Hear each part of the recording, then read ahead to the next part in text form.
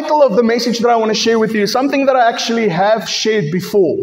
Okay, but the title of the message that I want to share with you is called Be Ready to Receive. Everybody say this with me. Say, Be ready to receive. Okay, say it to the person next to you. Say, Be ready to receive. Order brings overflow. Okay, you can say that as well. Say, Order brings overflow. Amen. Do you believe that? Okay, so I believe that we need to be ready to receive but in order to be ready to be, uh, when we are ready to be, to receive, and we are in the position to receive, that order in our lives will bring overflow. Okay, and to illustrate that to you, there's a story that I actually heard about um, how many of you know Steve Harvey? Okay, he's actually he's a comedian, but he's also a Christian, and uh, he was actually telling a story um, about a woman that was a friend of his, and that woman was dating a man for two years. And for two years, every single day, that woman would meet that same man in a restaurant and she waited for him to come. Every single week, she would wait for him to come. But the problem was, he was a married man. And for two years, every single day, she would show up in this restaurant. And then Steve Harvey says that he actually had a conversation with her and he said to her that, Do you really think that God is going to bless that? Do you really think that God is going to bless that relationship? And he said to her, How will God send you Mr. Right if you are busy with Mr. Wrong? How is God going to send you Mr. Right when you are busy with Mr. Wrong? And the woman said to him, Do you really think that this man is Mr. Wrong? And he actually started telling her a story and he said to her, He said that there was one time in his life where he was saving up to buy a car. And he was saving the car, I was saving up to buy the car, and every week he would take a part of his salary and he would save it after payday, and he would say to his mom, Mom, I am going to buy a new car. And then every week she would say to him, I know that you're going to buy a new car, but baby, your old car is still on the blocks. And he got infuriated with his mother because every week he would come in the same story. He would say to his mom, Mom, I'm saving up to buy a new car. And every week she would say to him, But baby, your old car is still on the blocks. And every week this would happen. And then one day he couldn't take it anymore. And he said that, listen, mom, I'm trying to be positive over here. I'm trying to stay positive, but every week I'm telling you this, and you say, my old car is on the blocks. And I know that you're trying to teach me something. So she said, Yes, I'm actually trying to teach you something. So she said that your old car is standing there on the blocks all around it, there is trash. The weeds are growing all around it. It is dirty, it is rusted, and where are you going to put your new car when you get it? Where are you going to put your new car when you get it? Are you prepared for your new car? And he said his mother actually it inspired him and he went and he started cleaning all around that car. He started cleaning the car inside and actually eventually he started selling that old car. He cleaned the driveway, he took away all the trash, and all of a sudden the yard looked nice.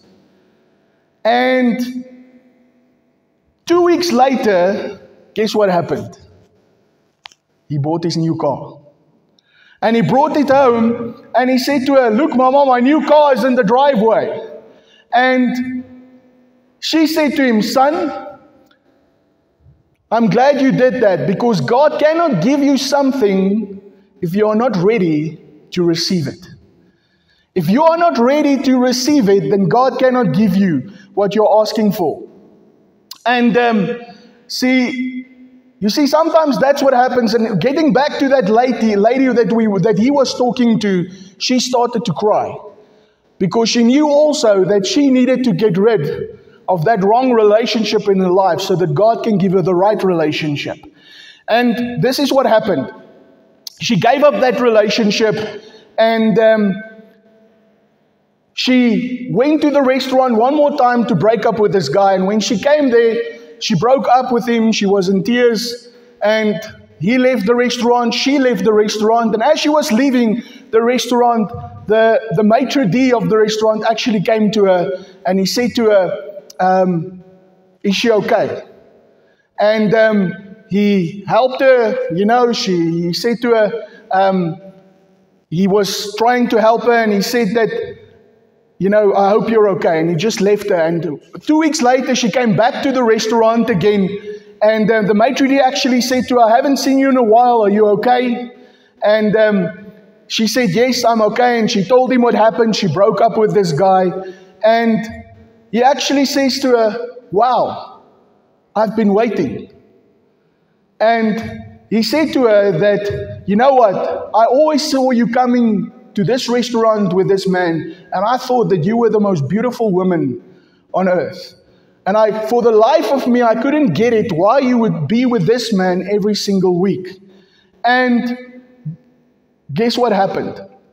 One and a half year later, these two people got married. They had two kids, and he was not the maitre d' of the restaurant anymore. He actually bought the restaurant. And because she was a financial advisor in the bank, and she was actually the missing piece for him, and he was the missing piece for her. And what happened was they now own three restaurants. He makes more than $2 million a year. And all of that because he got rid of the car on the blocks. Okay? All of that happened because she got rid of the thing that was holding her back. Okay? She took the old car off the block. And I want to ask you this morning what is the old car on your block? What is the thing in your life that is keeping you from receiving what God has for you? You see, you want a new car, or maybe there's a new place, but if you're not ready for it, you know, God could be waiting for you to take the car off your block so that you can actually, He's waiting perhaps for you to clean your yard, to clean your car. And the thing is, is that we need to get rid of the old so that we can make place for the new. The question is are you ready to receive? Are you ready to receive? And if we want to receive, then I believe this is what we need to do. And I believe, especially in the time and the days and the age that we are living in, we need to get our lives in order. You know, Pastor Michael has been preaching a lot about, you know, that, that God can't bless a mess that even in our country, God can't bless a mess. And I believe that even in our country, we need to get things in order. There's things that need to be to be get uh, uh, get to be placed in order, and we need to get things in order. And especially, but a lot of times, you know, we focus on we need we think the government needs to get something in order. This person needs to get something in order. But you know where God always starts? He starts with us. You know, the change. We always say, "Be the change." that you want to see in the world. So if we want things outside to get in order, we have to start getting in order. And once again, this is the title of my message this morning Be ready to receive, order brings overflow. Be ready to receive. So, our verse this morning that I want us to focus on, I already mentioned it 1 Corinthians 14 33. For God is not a God of disorder did you hear that? Say to the person next to you God is not a God of disorder, but God is a God of peace. You see, God is not a God of disorder, God is a God of peace. So, if you think about it, what's the opposite of, of order? Chaos. It is confusion. It is disorder. And when we are not having our lives in order, when we don't put things in our lives in order, that's exactly what happens. Things start getting in disorder, things start getting in confusion. And once again, God does not bless that because He cannot, because He's not the author of it. So, I don't know if you've noticed, but we're already in the month of June. It's there. we passed the six months of 2024 already. Can you believe it? Time flies when you're having fun. Okay, but I heard Terry Savelle Foy say the following one day when she was praying and journaling in a time with the Lord, and she heard this phrase over and over in her heart, and that's the phrase that I want you to hear this morning. It says, Order brings overflow. Order brings overflow. You see, I believe that that is a word for us, even for the rest of this year, that God wants to do in our lives. Is that if we want to receive what God has for us, order brings overflow. You see, God wants us to get things in our life in order so that He can bring His overflow. How many of you would like to receive God's overflow? I think we all do. But then we have to get things in order. 1 Corinthians 14:33 out of the amplified says for God is a God not of disorder but of peace. So this morning I want to give you actually a practical checklist of things that I believe we have to look at to get in order in our lives. Okay? And if you are in order in that area, just tick the box Okay, now I'm not saying that you have to get that in order, but I believe this is important things that we need to get in order. So the first thing that we need to get in order, and this I believe is the most important thing, and we always talk about this, but you know, sometimes what is easy to do is also easy not to do. Okay, and that is why I believe we have to say this. Get your relationship with God in order. Get your relationship with God in order. Hebrews 11, verse 6 says the following it says, For God is a rewarder of those who diligently seek Him. See, God is a rewarder of those who seek Him. Spending time with God should actually be our highest priority. For how many of us is spending time with God our highest priority? Matthew 6:33, we always speak about the scripture, but it says seek first the kingdom of God and his righteousness and all these things shall be added unto you. How easy is it to get that wrong? You know, we seek everything else, but we don't seek him. You see, we need to ask God to help us to get our, love, our lives in order. But in order to do that, we have to have a relationship with Him. We can only, He can only help us get our lives in order if we have a relationship with Him. So we have to be intentional about it. Have you noticed that if we're not intentional about having a relationship with God, everything else is going to be more important? Okay, sometimes we're just too busy. And listen, if we are too busy to have a relationship with God, we are too busy. Then something needs to change. Okay, we need to have a relationship with God. So we need to be intentional. So, how are you intentional in having a relationship with God? Well, the first thing you need to do is, is you need to have a time. Set a time. Make time for God. On your calendar, on your day, somewhere, set a time that you say, I'm going to spend time with God. If you don't put that time in place, you're not going to have time. Okay, the second thing that you need to do is find a place.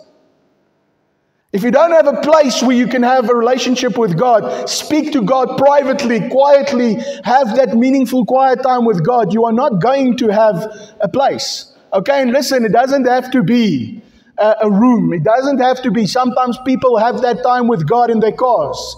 Sometimes people have that, that time with God in a, another secluded place. I know of people who actually have a cupboard in their house, that they spend that quality time with God in a cupboard in the house. It's not about the place, but it is important to have a place. Have a place where you spend time with God. And then also have a plan. Okay, what are you going to do? You know, read your Bible, pray. Okay, spend time with God, read the Bible, pray, worship. Spend time doing these things with God because, you know, so many times, like I said, we say we're too busy to do that, but actually, we cannot say we're too busy to do that because that's the most important thing. Okay, nothing else is more important than spending time with God. So decide on a time, decide on a place, and then you can actually spend time with God. But it's important that you get your relationship with God in order. The second thing that we need to get in order is we actually have to get ourselves in order. Okay? Get yourself in order. You see, how many times do we charge our phones? If it's on 5% battery life, what do we do? Oh dear, I need a charger. Okay, and we run and we make sure that somehow, sometime, we find the charger. We make it, make, it's important to find the charger because if my phone dies, you know, some people think if their phone dies, they are going to die. Okay, but if we take that much effort to charge a phone, why don't we take more time to charge ourselves? Okay, to spend things, time on things that, that recharge us okay, that give us new life. So we have to get ourselves in order. You see, we, we don't charge ourselves, we actually constantly do things that drains our batteries. But we have to do things that are important. So one of the things that I believe that is important, and you know, this is going to sound not very spiritual, but I think it's important. Get a health checkup. Okay? Go to a doctor, get a health checkup. You know, what we don't realize is that we don't take care of our health. Okay? And I'm not pointing fingers.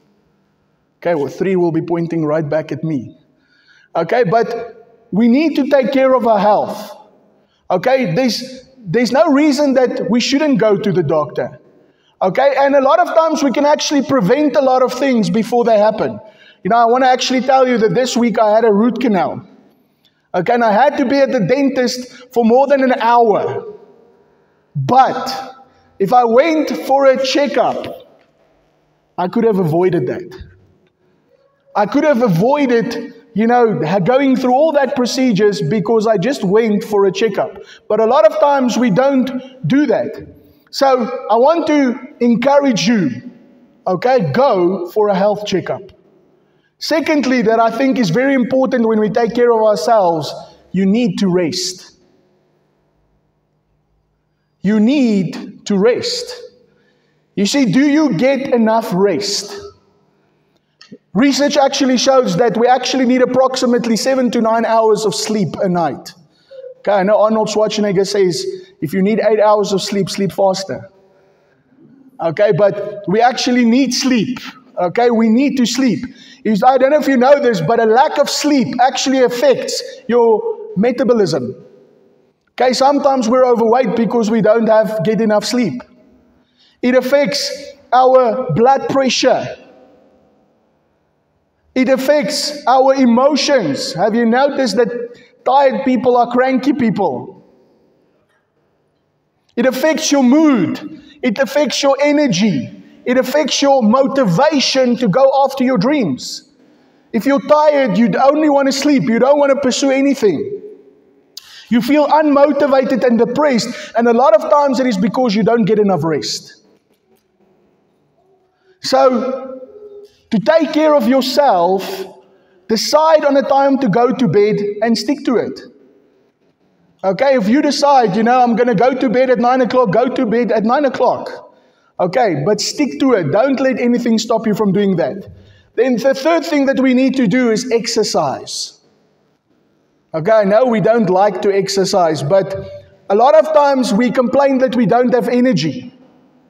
I don't know if you've noticed this, but actually, exercise is the very thing that gives you energy. I don't know, it doesn't make sense, but, but if we exercise, it actually gives us energy. And you can do, listen, you don't have to sign up to a gym and get an expensive gym contract, but you can do something that works for you. Do something that you can maintain. You know, your energy, because if you have enough energy, you will have motivation to go after your dreams. You will have the energy to do the things that God wants you to do. So, you know, whatever it is, even if you have to go for a walk, even if you have to walk around your house a few times, whatever you need to do, just do something, some sort of exercise, and you will be glad that you did. The fourth thing is, is that you need to get routine. You know, sometimes we have no routine in our lives. Okay, we just go through the motions. And do you have a routine that is improving your life? Okay? Or do you have a routine that is actually breaking down your life? You see, we need to protect our mornings. We have to, have to have time where we focus on the things that is important. You see, a routine is actually non negotiable. You need to have, because your disciplines, it's part of your disciplines. If you don't have those disciplines, then you won't have any um, good results. You see, our daily actions produce good results. It's the things that we do daily that produces good results. And if we don't have a good routine, we're not going to have good results. And then personal growth. Are you working on yourself? Are you becoming better? Are you growing? Are you becoming better every day? Are you trying to become more than you are? Okay, it was actually, it was Jim Rohn who said that um, if we want to have more, we have to become more. If we want to have more, we have to become more. And this is also to do with preparation. You see, maybe we're asking God for something, but we're not ready for it. Maybe we don't have the skills yet. Maybe we don't have the, the talents yet. Maybe we're not doing something that stretches us every single day. You see, if we don't do something that stretches us, we're going to probably be in the same place next year. Do something, grow. We need to grow. You also know that something that is not growing is dying. So we need to grow. Then the next thing that we need to get in order. So, first, you have to get your relationship with God in order. You have to get yourself in order. Then we have to get our surroundings in order. How does it look around you?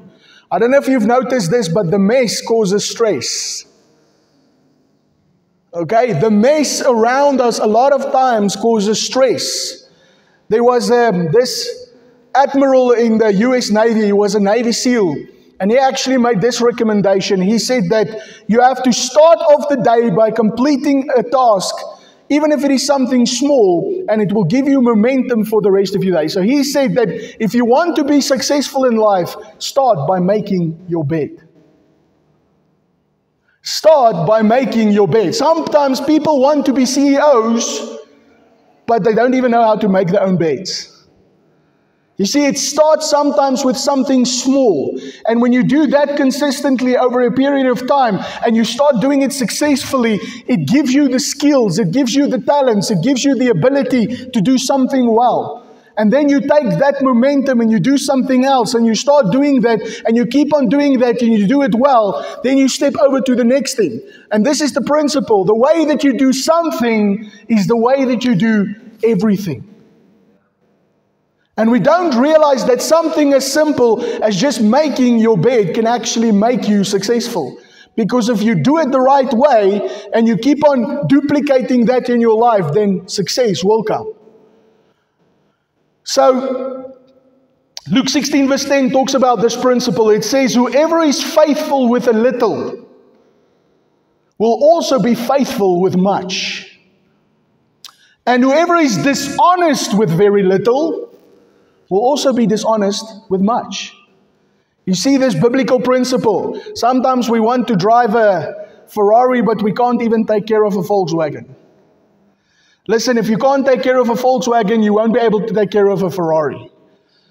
Okay? We need to do the things, the small things that God has entrusted to us. We need to do them well. Okay. So that's the third thing that we need to get in order. The, the fourth thing that we need to get in order is get your finances in order. Proverbs 21:20 says, "The wise have wealth and luxury." But fools spend whatever they get. Fools spend whatever they get. So, to get our finances in order, you know, we talk about this a lot, and people always think, you know, this week again, I, I saw someone talk about tithing. And people are always talking about tithing. It's like it's one of the biggest contested things in the body of Christ. People are fighting about tithing. Okay, but listen, the Bible said tithe. Okay? It isn't a man made principle, it is a godly principle. God says tithe. Okay? But also listen, there are people who abuse it. There are people who, who, who say all sorts of things, but don't let that change your focus. Okay? You do what you need to do because God says you need to do it. Because the word says it. Don't do it because people tell you to do it. Okay, do it because the word says you should do it. And do it out of faith, do it out of obedience. Okay, the Bible talks about tithing. You see, God is not trying to get something from you. I don't know if you've noticed, but God is not in heaven saying there, oh, you know, if you don't pay your tithe today, I don't know what heaven is going to do. Okay, God is not after your tithe, He's after your heart. And I guarantee you, a lot of people who have a big issue with tithing actually have a problem with money. They struggle with money because they have an issue with money. Now, I'm not here to talk about money, but, but it is important if you want to get your finances in order, get your tithe in order. The second thing that you need to do, and this is very practical, budget. You know, if you don't tell your money to go where it should go, it will always go somewhere. Okay, and that's exactly what a budget is. A budget tells your money where it should go. Okay, not where it just goes. I don't know if you've noticed that, you know, sometimes when the money comes in, if there's no plan, then the money just goes. It comes and it goes, and it comes and it goes. Okay, but when you have a budget, you can actually plan. John Maxwell actually said that a budget is simply telling your money to go instead of wondering where it went. Okay, and we don't want to know where our money went. And then the third thing that I believe need, I think we need to do is, is we need to start saving. You know, I think a lot of times saving is a foreign word to us. And sometimes people say, you know what, you don't know my income. You don't think I can't save. You know, you don't know. There's too much month at the end of the money. Okay, but we need to start somewhere. Even if you start with one rand, two rand, five rand, ten rand. You know, doing that over a consistent period of time will have big results. Okay? So we need to start saving. So get your finances in order. And then the last thing that we need to get in order is get your goals in order. Now, I always talk about goals because I believe goals are important. Proverbs 29 18 says, Where there is no vision, the people perish. Okay, I don't know if you noticed this, but because we don't have vision, people are perishing. People don't live for dreams anymore. They don't have a vision anymore of something that they want to accomplish. I believe God made us so that we want to accomplish something in life. You see, when you aim at nothing, you will hit it every single time. I don't know if you know this, but the very act of just sitting down and making a list of goals, it actually starts getting your heart rate up. It starts making you excited.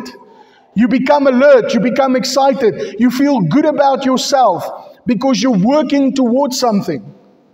Okay, and that is how God designed us. So I want to encourage you. You know, I know we live in difficult times, but don't give up on your dream. Don't give up on the plans and the purposes that God has for you, the dreams that He places in your heart. So many times we stop dreaming. But this is exactly what Proverbs says. It says, if we do not have a vision, we, we perish. I don't want you to perish. Have a dream, whatever it may be. Whatever it may be, have a dream. Have a God given dream. And I believe that when we do all of these things, when we bring our lives in order, we are preparing for overflow. We are preparing for overflow. So, in closing, when we start getting our relationship with God in order, our lives will begin to overflow with purpose. When your relationship with God is in place, your life will start overflowing with purpose because out of that relationship, God will give you purpose. When we start getting our homes in order, our lives will begin to overflow with promotion. You see, like I said, this guy with his car on the blocks, Steve Harvey with his car on the blocks, it was his car on the blocks that was stopping him from receiving his new car. When you get your home in order, your life will start flowing with promotion. When we start getting ourselves in order, our lives will start to overflow with opportunities. Opportunities will come because when you start getting yourself in order, all of a sudden you will see opportunities that you never thought were there. When we start getting our finances in order, our lives will begin to overflow with prosperity. When we start getting our goals in order, our lives will begin to overflow with fulfillment. We will not just exist, but we will live with purpose. We will live with passion because we're living for something bigger and better than what we have just in front of us. So, when we start getting ourselves, our homes, our money, our future, our goals in order, we will overflow with opportunity. We will overflow with promotion, with prosperity, with peace and fulfillment because this is what I believe order brings overflow. So, I want to encourage you this week make a decision to do it. Make a decision to get your life in order because when you do, when you take action, listen, sometimes God, we think we're waiting on God. God is waiting on, waiting on us. Take action. We can't always do everything, but we can do something. Take it that your decisions are the pathway to your destiny. Your decisions are the pathway to your destiny. When we make a decision to get our lives in order, the order will bring overflow. So I want to ask you this morning are you ready to make the decision? Are you ready to make the choice to get your life in order to do something? Because when you are ready to do that, when you are ready to receive, that order will bring overflow. Let's pray. Father, we come this morning and we thank you, Father, that order brings overflow. Order brings overflow. Lord, there's so many things in our lives that we cannot control. Lord, we cannot control what is happening in the world. We cannot control what is happening in the economy. We cannot control, Lord, what is happening all around us, Lord. But, Lord, we can control what we do. We can control the things that, that we do. And Father, I pray this morning, Father, I believe that this is a message that you have laid on my heart to share with your people this morning because, Lord, I believe that revival is coming. I believe, Father God, that breakthroughs are coming. I believe that, that miracles are coming. I believe, Lord, that many great things are in our future. But, Lord, in order to receive that, we have to be ready to receive that. Lord, we have to come to a place where we bring our lives in order. So, Father, I pray. Lord, I touched on many things this morning. I touched on people's health. I touched, Lord, on our finances. I touched on our relationship with you, Father. But all of those things, Father, we need to get things in order in our lives. And I pray, Father, that you will speak to each of us individually, Father, specifically on what we need to, to do.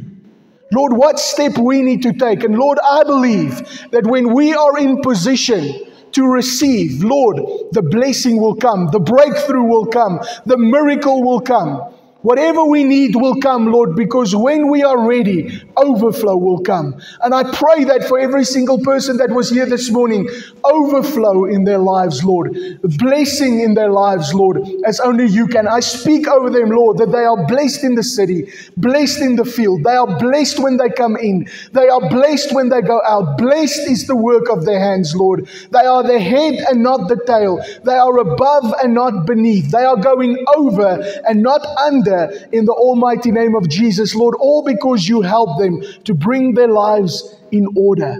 And we give you all the praise, the glory, and the honor. Thank you for helping us get ready so that we will be ready. In Jesus' name we pray. And if you believe it, say, Amen.